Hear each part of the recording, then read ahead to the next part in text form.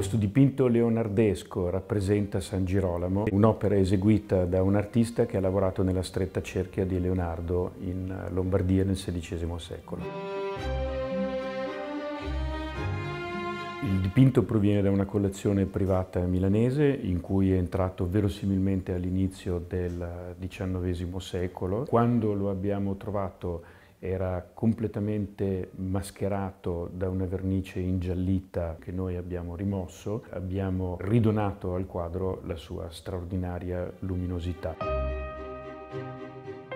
Il dipinto inizialmente evidenziava sulla superficie numerosi interventi, eseguiti ovviamente per celare delle lacune, ma che debordavano sulla materia originale per andare ad accordarla dal punto di vista cromatico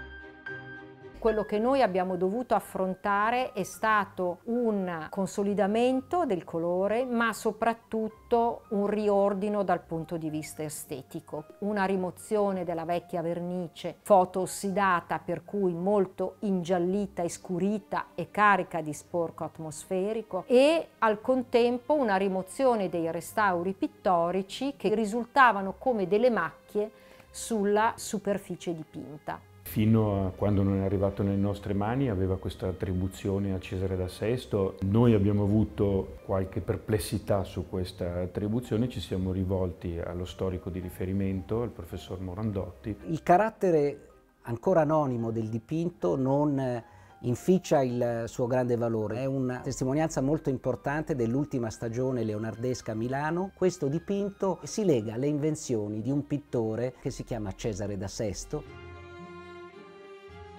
questo San Gerolamo è una specie di iperbole rispetto a un'invenzione che Cesare da Sesto licenzia proprio qui a Milano, è il battesimo di Cristo, oggi nella collezione Gallarati Scotti, un quadro formidabile proprio per questa cornice paesaggistica che questo pittore sembra conoscere, insomma, perché al di là dell'elencazione delle piante, quello che è molto simile fra queste due opere è la straordinaria restituzione di questo paesaggio con, diciamo, dei sassolini percorsi dalle acque, con delle ranocchie che sembrano diciamo, affacciarsi e tuffarsi dalle rocce, una lumaca che si riconosce ai piedi dell'albero sulla destra, insomma c'è veramente una specie di ossessione da botanico, c'è un, un'osservazione come dire quasi ossessiva degli elementi naturali che avvicinano particolarmente la cornice paesaggistica del quadro di Cesare da Sesto eh, Galarati Scotti e questo dipinto. Questo sta a significare che il pittore era anche un appassionato botanico, data la precisione con cui sono descritte ogni singola foglia, ogni singolo fiore e anche i piccoli animaletti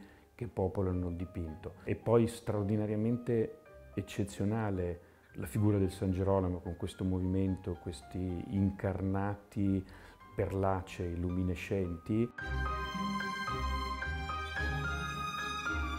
La cosa che a me personalmente piace di più è questo volto del leone che è, quasi umanizzato, è fenomenale.